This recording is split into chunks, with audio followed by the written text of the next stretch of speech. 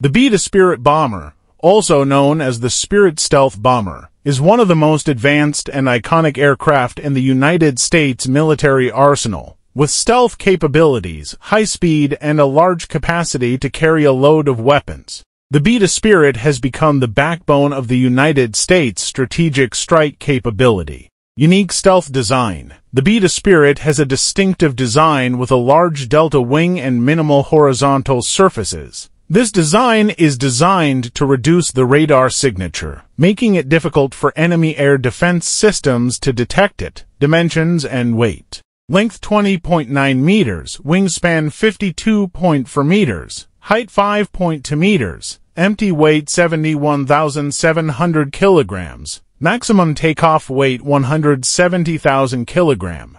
The B-2 Spirit Strategic Bomber class is included in the Strategic Bomber class capable of carrying various types of weapons, including nuclear and conventional bombs.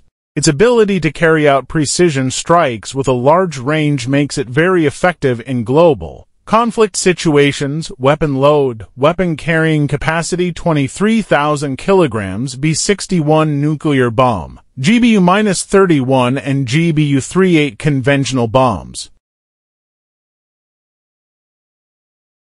Long-range operation with its large operational range. The B-2 Spirit can travel thousands of miles without needing to refuel. This allows it to provide highly flexible force projection capabilities across the globe, engine, and speed.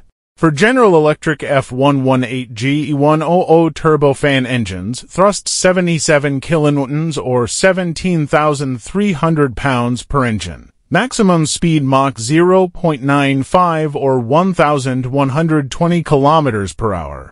The B-2 Spirit bomber was developed by Northrop Grumman and first introduced in 1989. Production was very limited, only 21 units were built, making it a rare and expensive aircraft.